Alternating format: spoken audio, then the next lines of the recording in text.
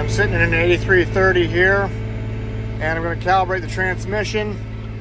First step is you take a jumper hose from number one and number two or any two of the SCVs there and you put you put one of them on continuous flow for the jumper hose and one on continuous flow just deadheading no no hose attached and that's how they ask you to heat up the oil then if you push your engine hours down here or I guess it's already there uh, but you can scroll through here and find oil temperature so we're at 102 degrees Fahrenheit but it also requires you to drive shifting through all the gears 1 through 13 and reverse uh, multiple times to heat the transmission evenly.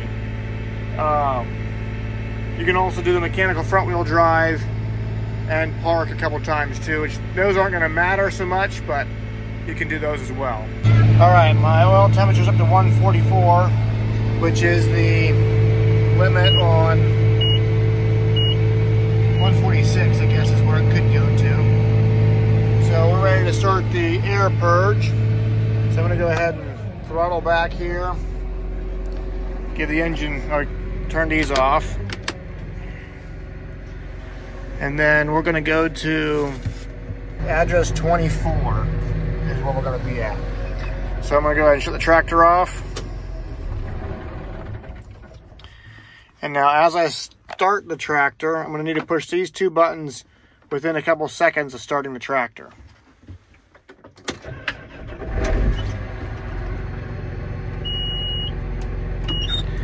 So now we're in this mode. I don't think that... Okay, that might work. Yeah, okay. Here we go. So now we're going to go to address 24 purge. Leave the tractor at a low idle, everything off, AC is off, everything off that we need to have off, and we're gonna start this here. So select gear four. Oops, I put it in reverse for some reason. So go down to gear four, and then we're gonna go down to here. Now, why is it shifting up on me? Oh, it's doing that automatically. I thought I said to, to select gear four, so I did, but it's already shifting up on me, so. We'll just let it do its thing.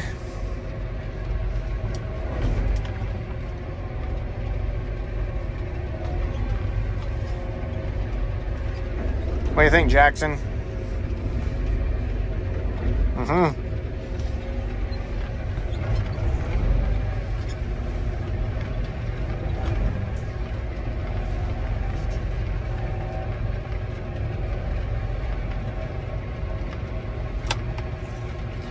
Now I'm going to shift to park. And that tells me the park brake is holding well. All right.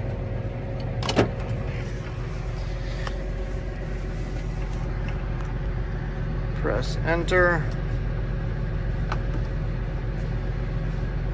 And now we're going to go to, okay, 23 is going to show us zero, which is the right oil for where we're at. And my transmission oil should be hot enough and engine temp is good. So turn off air conditioning, steering, hitch, brakes, clutch, SCVs. All that should be off.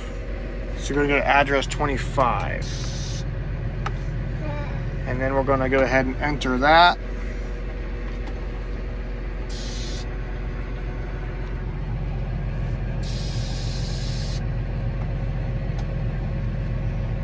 So it's saying select oil type. If it says select oil type, perform hydraulic oil types setting in step three. Okay, so that was up here, which we had just verified. But apparently I have to go through it and actually do it. So hit back there. And we're gonna go here and then actually save it. And then we can go to 25 and do the calibration. Okay, so it says raise oil temperature. So the oil temp is at 52 Celsius. So I'm just gonna use SCV1 now. We need to set engine to R RPM to full throttle. All right, so unlike the 100 series and 10 series and 20 series, you cannot have any SCVs operating during the calibration process. So we'll have to just turn them off and if we need to reheat the oil, we'll have to do that after, or just put the, put the lever into neutral and do that and then put it back in gear and it'll continue the calibration. So we're gonna go ahead and turn this off again and put lever into forward.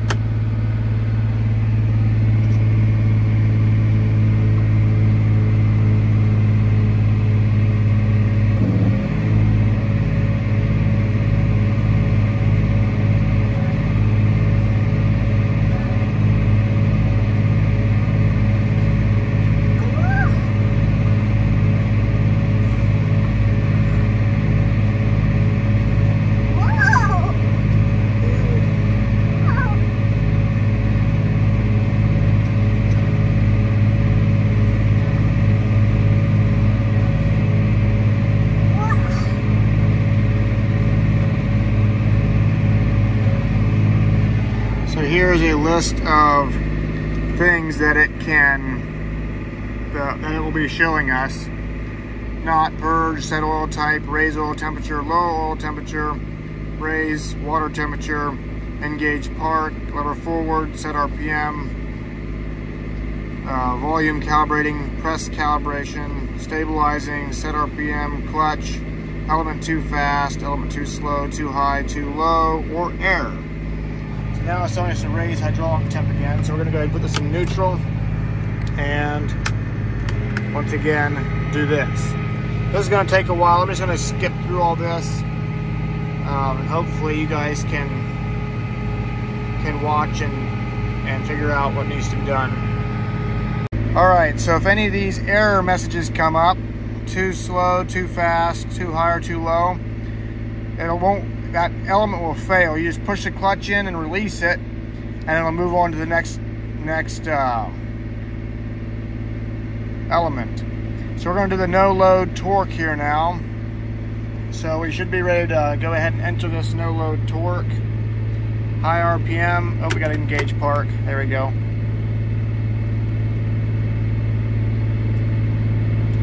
And then it says off. Let's see here.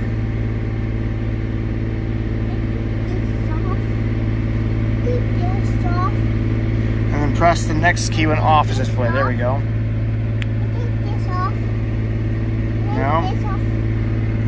Oops, sorry, I gotta do this here. That one there.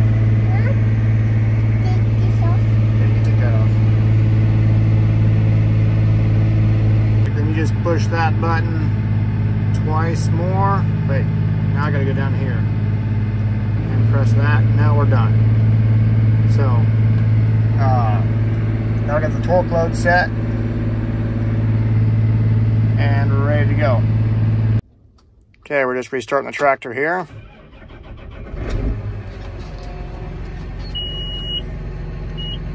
And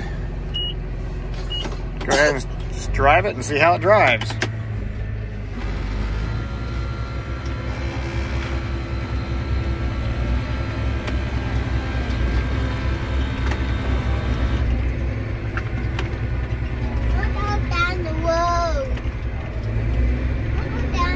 Chipped and smooth so far.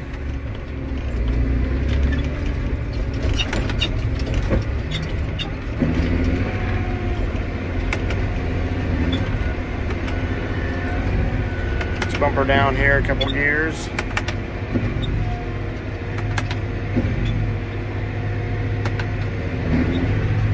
Fifth to fourth is usually fairly hard. That wasn't too bad.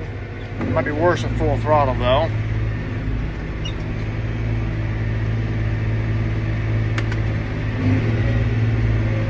I've had worse.